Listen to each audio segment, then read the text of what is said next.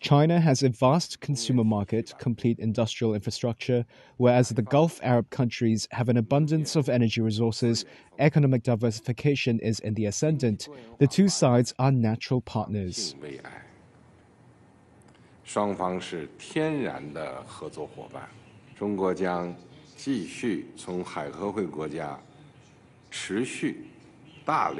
为爱，双方是天然的合作伙伴。中国将继续从海合会国家持续大量进口原油。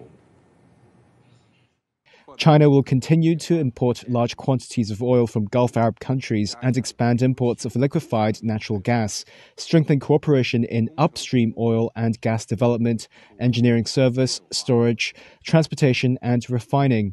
China will also make full use of the Shanghai Petroleum and National Gas Exchange as a platform to carry out yuan settlement of oil and gas trade. 开展油气 贸易人民币结算。